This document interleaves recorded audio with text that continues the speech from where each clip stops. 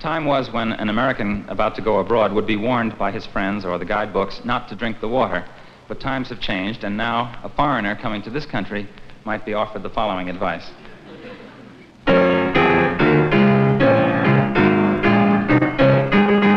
If you visit American City, you will find it very pretty.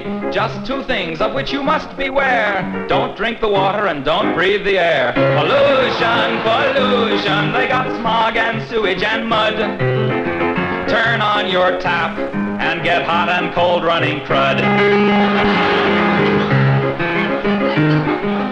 See the halibuts and the sturgeons are being wiped out by detergents. Fish gotta swim and birds gotta fly, but they don't last long if they try. Pollution, pollution, you can use the latest toothpaste rinse your mouth with industrial waste.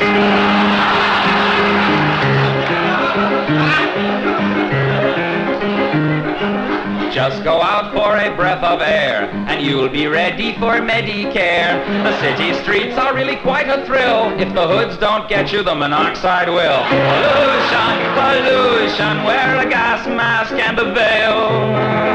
Then you can breathe, long as you don't inhale. Things there that you can drink, but stay away from the kitchen sink, the breakfast garbage that you throw into the bay. They drink at lunch in San Jose. So go to the city, see the crazy people there, like lambs to the slaughter.